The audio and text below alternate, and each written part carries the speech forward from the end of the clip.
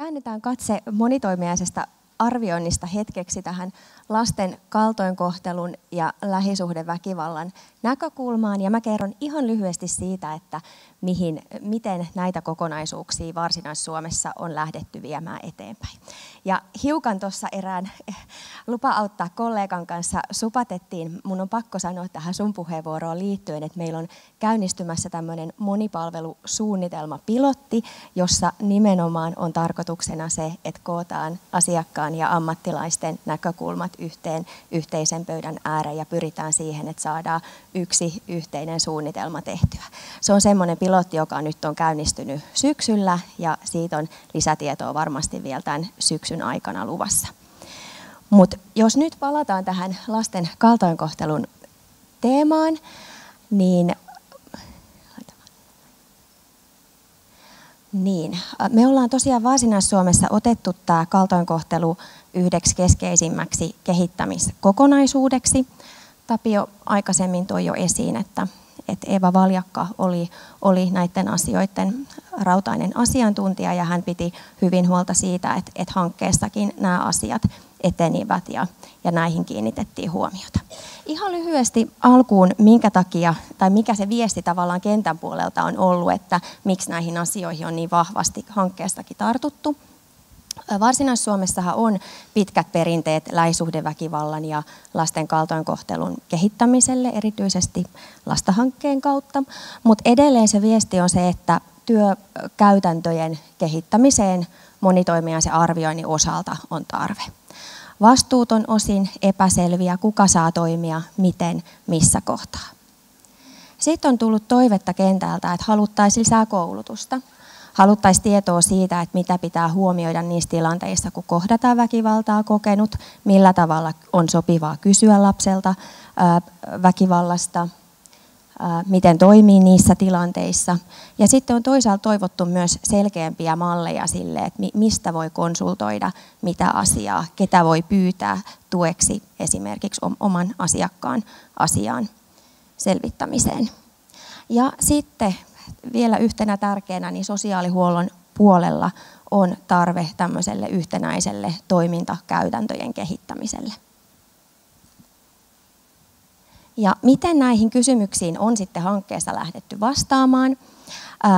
Outi Abrahamson lupa auttaa hankkeesta yhdessä sitten Ensi- ja turvakotien liiton ja AVin kanssa ovat lähteneet kouluttamaan tai toteuttamaan tämmöistä luotsikouluttajakoulutusta, jonka kautta on sitten luotu tämmöinen moniammatillinen luotsien verkosto.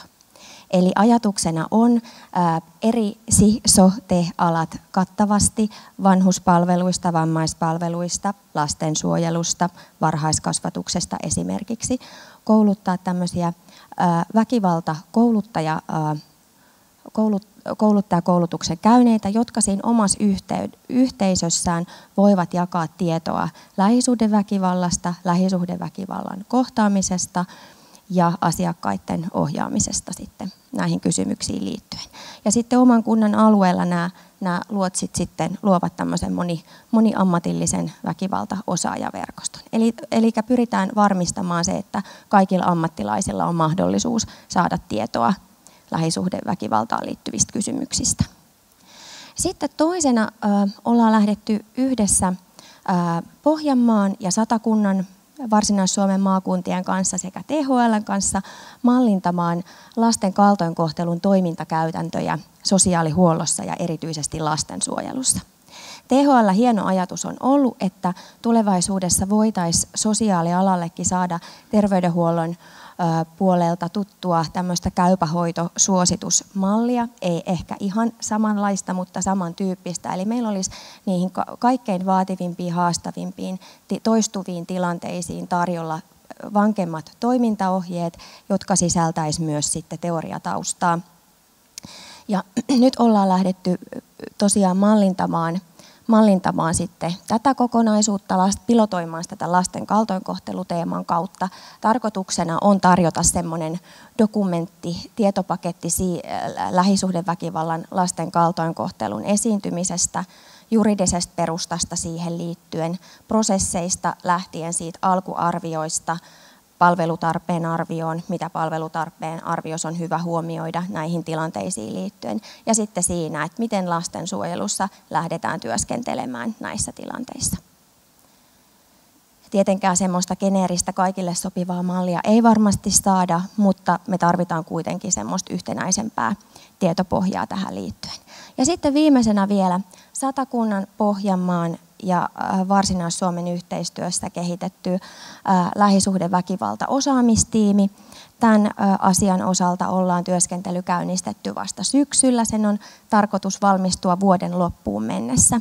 Ja tästä on tarkoitus tulla sellainen rakenne, joka voisi ottaa koppia niistä kaikkein vaativimmista lasten kaltoinkohtelu- ja lähisuhdeväkivalta tilanteista – tarkoittaen sitä, että täältä voisi tulla konsultaatiotukea, jalkautuvaa tukea niihin asiakastilanteisiin. Sitten tämän osaamistiimisajatuksena oli, että tämä voisi ottaa koppia myös kouluttamisesta, palvelu, ja se voisi ehkä monitoroida myös sitä, että minkälaisia aukkoja meidän auttamisjärjestelmässä on näihin kysymyksiin liittyen. Ja sitten voisi huolehtia siitä, että näiden kolmen maakunnan alueella ammattilaisilla on paremmin koulutusta tarjolla näihin kysymyksiin liittyen. Tällaisia kehittämiskokonaisuuksia näihin kysymyksiin liittyen siis Varsinais-Suomessa meneillään. Kiitos.